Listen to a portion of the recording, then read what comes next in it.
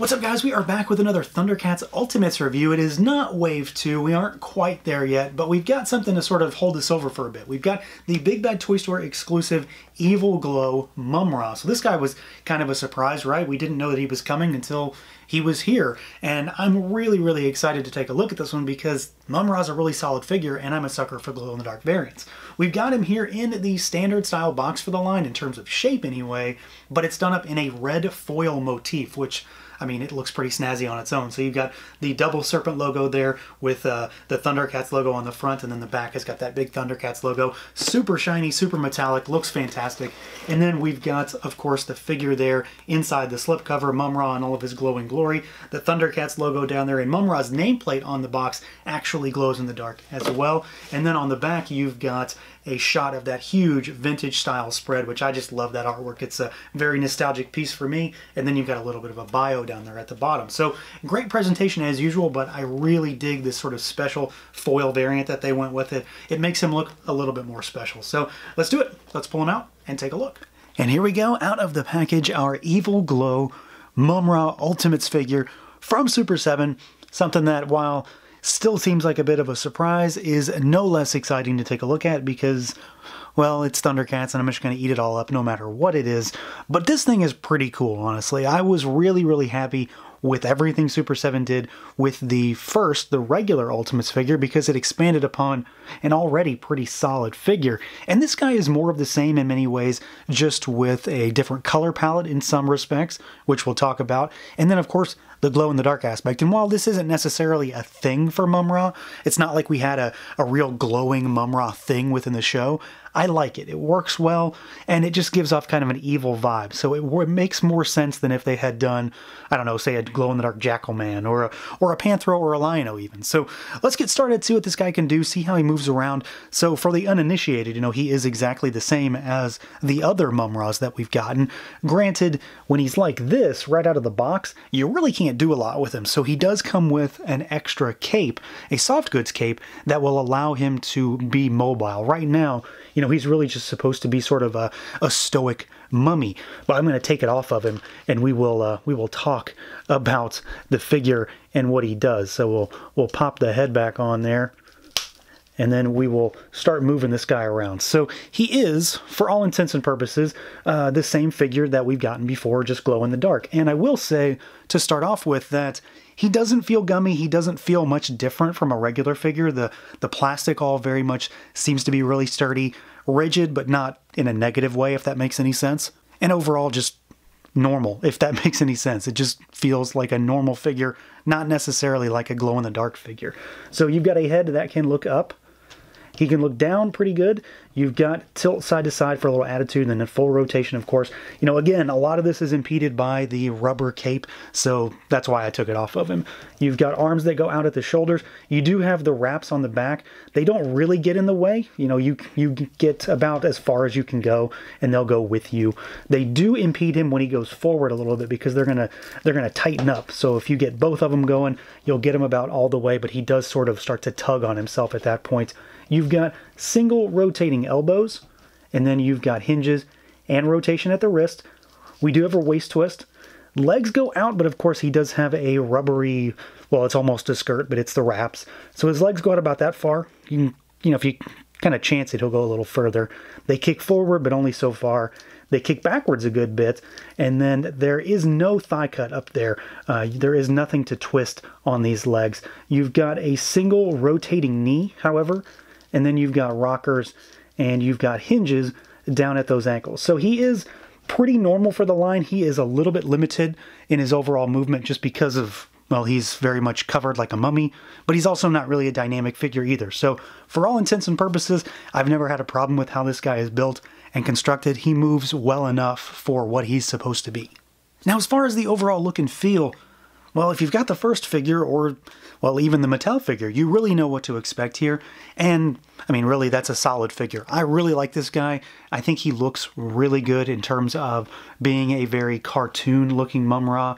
And this particular version does have some changes. It's kind of interesting because the The Ultimates Mumm-Ra, of course, has a color palette change in a number of ways. The skin tone is different from the Mattel version, the cloak is different, and this guy is even more different. He's not the same as either figure. Of course, he's done up in translucent plastic this time around, will glow in the dark translucent plastic, so that's a color palette change on its own, but the cape is an entirely different color.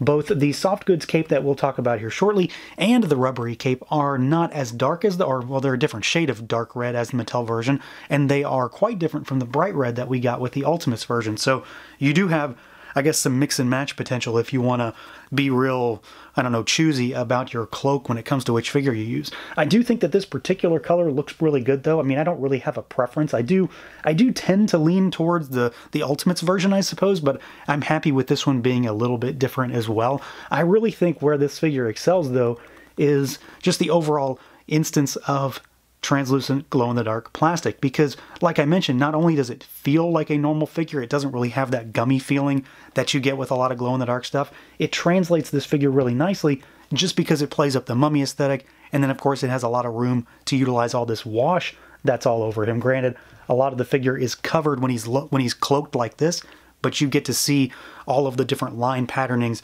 with this black wash that's applied over top of them, and it doesn't really impact the glow feature either.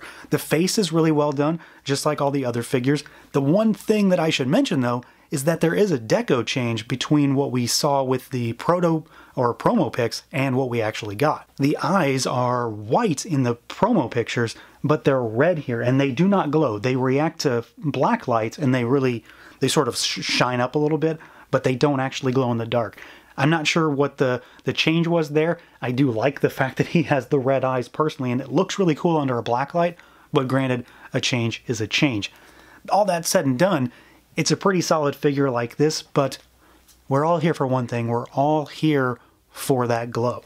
And he really does glow really, really well. Again, the entire figure is done up in translucent glow in the dark plastic. And you can see, I mean, he just lights up when you've got him uh, charged up for a little bit. Hit him with a black light, set him out in the sun, whatever you're going to do. He holds a charge just as well as the Super 7 Ultimates Glow in the Dark Toxie, Ultimates Glow in the Dark Baxter Stockman.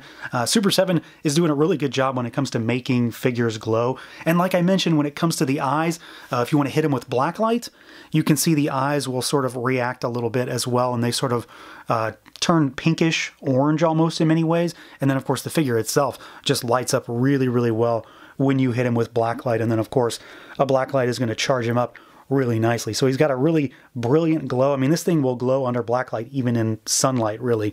But there you've got him uh, after being exposed. So he looks really good. He holds a charge really well. Of course, a lot of the figure is covered when you've got him in this wrap. But if you use the other cape, then you'll get a lot more of that glow-in-the-dark plastic exposed. But I'm very, very happy with what they did here. And then, of course, like I mentioned, here is a quick comparison as far as your standard configuration Mumm-Ra when it comes to our Mattel figure on the left, our glow-in-the-dark in the middle, and the Ultimates Super 7 figure on the right. So there's a lot to compare, but at the same time, like many instances when I do this, there's really not a lot to compare. Because the one big difference here is the cloak color. So the Super 7 figure, the first one, the Ultimates, took it in a really different direction by making it very bright, whereas this one goes back towards the darker side, but it's almost like a burgundy color. It's not exactly a deep red like the Mattel version is, it's just different on its own. So this is what I was talking about, where if you want to be really choosy with the color of cloak you go with, you now have three options if you have all of them. Otherwise, they are, of course, exactly the same figure, save for the fact that there is a color palette swap on the Ultimates figure, and then of course we're talking glow-in-the-dark plastic on the new guy. Now as far as accessories goes, this version of Mumm-Ra, like the Ultimates figure, comes pretty well stacked, and the first couple of things we've got to talk about are ways that you can change him up. So you've got the alternate head sculpt here that has the open mouth, so you can get him kind of screaming his mummy head off there, and then you've got your uh, Soft Goods wired cape. So you can pose it up. And this has been my cape of choice when it comes to the Ultimates figure, is to use the wired version. So I use the the more closed rubber cape on the Mattel version. The wired cape on the Super 7 version because you can make him, you know, kind of do his mid transformation where the cape is billowing behind him. And I think it looks fantastic. This is, of course, a different color than the, the Ultimates one. It very much matches the rubber cape that we're getting with this figure. So it's a more dark burgundy style of color. So it's another instance of them kind of being uh, a little bit different with this figure by giving him something that is unique to this release, which I do kind of like while it's still being a little bit odd. So you've got all the same stuff to change him up here uh, that we saw with the Ultimates release. And I, I can't stress enough how much this cape really changes this figure. Not only does it allow you to be more dynamic with him, it also, of course, exposes a lot more of this glow in the dark plastic so you can make much more of him seen when it comes to exposing him to the light and then just getting him to be a little bit more brilliant in your display. Now, as far as the rest of the stuff he comes with, you do have some extra hands to start with. So he's got these kind of like style pose open palm hands, which is kind of essentially for this kind of pose. It works really well. You've got a set of gripping hands here. So you've got those. We have got a Book of Omens. Is it the real one? Is it the fake one? Only time will tell. This is glow in the dark. All the accessories are glow in the dark, I should say. We've got our urn, which is done up in glow in the dark plastic with white and black accents. You've got the hilt to the sword of Plun-Darr. We've got the still very obscure Rosencrantz medallion. This is one of those weird accessories I never expected anybody to want to make in toy form. And then we've got my favorite accessory with this figure still, uh, through the Mattel version to the Ultimates version and this one, we've got our now glow-in-the-dark LJN style staff. So of course this is what the vintage toy came with. It is one of my favorite accessories. I love this thing so much. They did a great job with the sculpt, the overall design, the paint, and then of course this guy glows just like the rest of it. So you've got various ways to change the figure up and you've got a smattering of glow in the dark, uh, glow in the dark accessories. There's really not much more you can ask for. So yeah, it's a Thundercats figure. I'm pretty much on board to begin with, but this is a really solid figure. I like Mumm-Ra to begin with as a figure. I liked him from Mattel. I liked him better from Super 7 because he comes with all this rather esoteric stuff. And this guy is more of the same, just done up in glow-in-the-dark plastic. And I'm a sucker for glow-in-the-dark plastic. It's, it's a really fun way to get a new Thundercat figure out there and it's kind of bridging the gap between Wave 1 and the wait for Wave 2. I think Super 7 did a really solid job with the glow in the dark on this figure. He is, again, incredibly bright and vibrant, and he soaks up light really well and shines incredibly brightly. Very happy with the overall presentation. I even love the box. The box is my favorite of the Ultimate Thundercat boxes so far. Something about this red foil design is really working for me in comparison to the black that we get with the regular figures. So all around a really solid exclusive that was also incredibly easy to get. So that's going to do it for this look at the Big Bad Toy Store exclusive Super 7 Ultimates Evil Glow Mumm-Ra. Let me know what you guys think. Feel free to like, comment, subscribe, and share, and until next time.